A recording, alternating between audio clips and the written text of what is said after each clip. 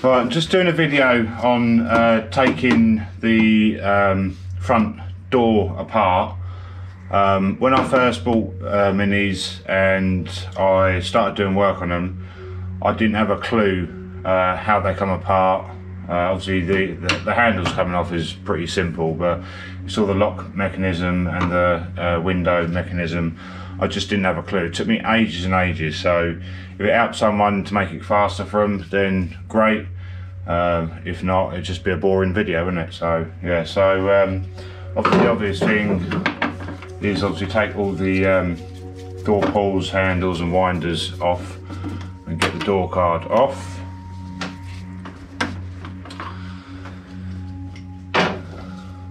Try and keep all the screws and stuff with part relevant parts. I'll tape them up later.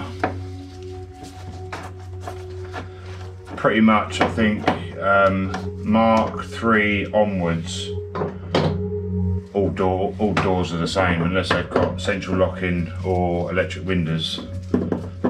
Um,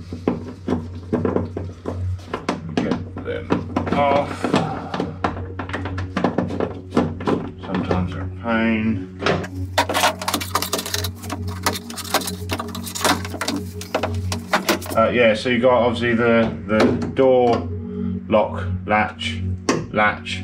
So if you get obviously undo these screws on these.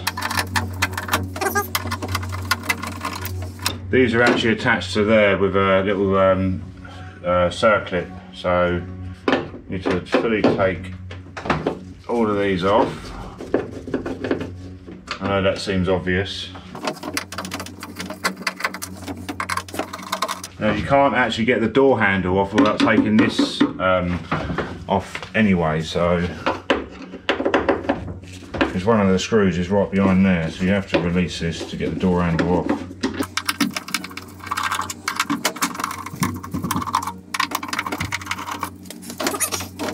So you have to ease that out of there. That actually disconnects from the door handle latch part, um, which I'll show you in a minute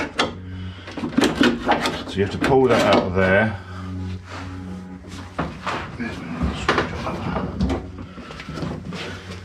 So on the door latch pull part, there's a little circlip on the back here you need to release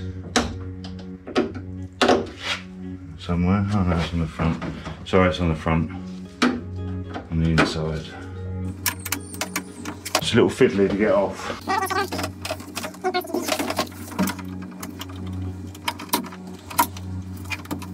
So you don't lose that.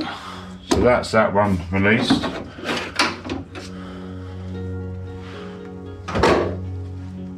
Clip that back on there. I'm also doing this and then on the um, lock part. There's one behind. It's on the back of the latch. See it there?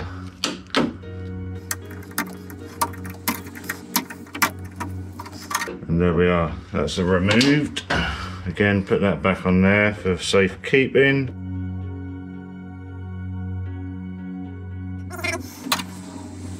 So that's that. I'm just going to put the screws back in so they don't get lost. If I remember what holes there were, these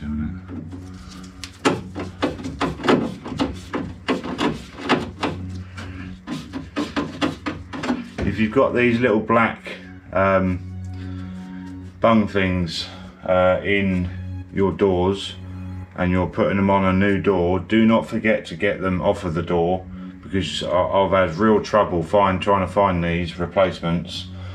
Um, so yes, uh, and they don't come on the new door. So always remember, if you are changing the door, to take those black things off. Obviously, that you got them for the uh, pole handle as well.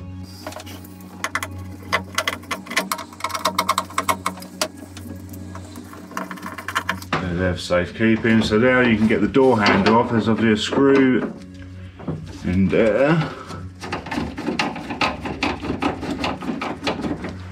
Try not to let it drop down, which normally it does.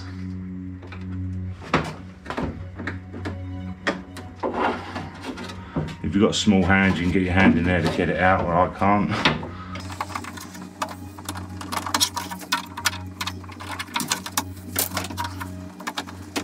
We go. The other one, on the other side, did drop down, so I had to fish that one out.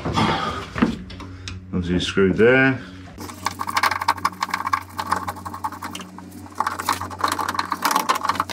And handle kind of just slips out like that. So that part there, when that is in position, clips on to that part. So when you pull that part out, it just disengages from that. Um, that's what, it, it can be a pain in the backside to get that back in once you put it back together again. So that's that. You put the screws back in so you don't lose them. I know you can get new ones, but always better to use the old ones? So that's that. And then now, I this is what I really struggled with. Uh, obviously, I didn't. Uh, the, the, the door latch and pull on the uh, main latch was always a brain freeze for me. Um, and you learn over time, unless you're told, how to take these out. They're a pain to get back in sometimes. You have to be very careful not to scratch the uh, paintwork as you're putting the, the windows back in.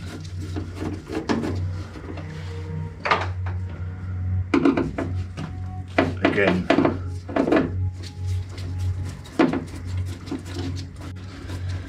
if someone can tell me whether they had um, the, the polythene on here on a Mark III or not, um, I've fitted it to all the other cars I've done, probably apart from Bolt.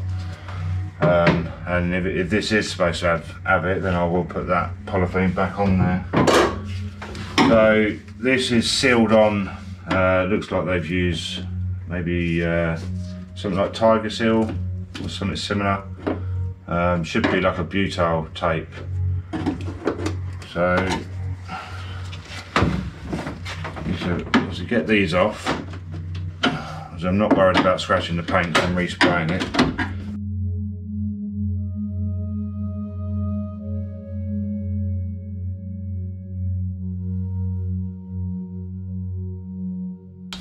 Right, so the window needs to be effectively so you need to release this out like so. best position for the window is to have these arms, there's two arms that go up to the to the runners, is to have them almost uh, um, quarter past three. Yeah, uh, no, not quarter past three, quarter to three. Because that is when the the the uh, ends of the runners, these are on the ends of the runners. So we're there and then you should be able to wiggle it off the runners.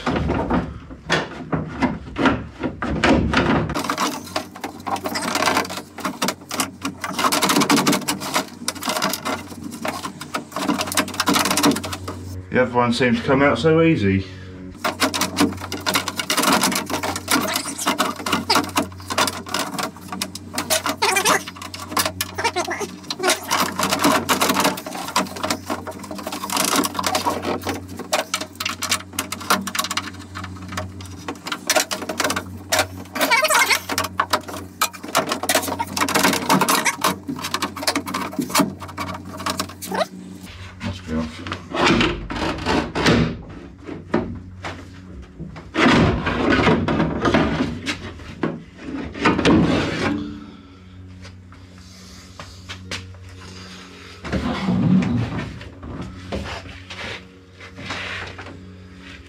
Needs a bit of grease on them, they're actually in good condition.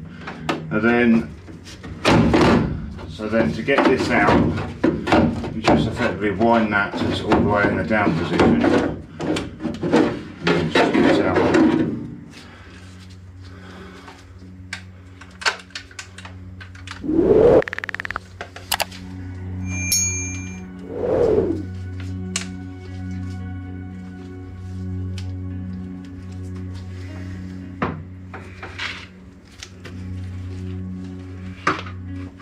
So you can kind of see when that is in that position, you can slide that in and they're, they're, almost at the ends of um, the runners. So yeah, that